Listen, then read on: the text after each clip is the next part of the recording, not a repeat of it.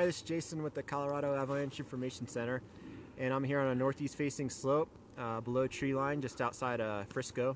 And we had an avalanche triggered here yesterday. Someone got caught and taken for a ride, actually into some trees, and luckily they weren't hurt. Uh, so, as a forecaster, we were quite concerned by this avalanche. Uh, we haven't had a lot of avalanches below tree line in the Vail Summit zone, and also on northeast facing slopes. The bullseye's kind of been east and southeast, so we wanted to come out and check it out and see what was going on.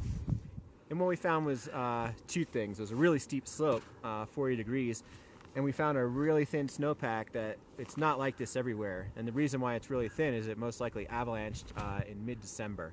So these isolated places, extreme terrain, uh, places that have avalanched previously, there's no way to know unless you take your shovel out and you dig and you look around. Um, just taking your probe out and looking for snow depth is a good, good thing to do. But anytime you get into this extreme terrain, you have to make your own snowpack evaluation and find out what you're dealing with underneath. And have a really shallow snowpack, about a uh, foot and a half slab over really weak depth hoar. So well, this won't be the last time we see avalanches in this area.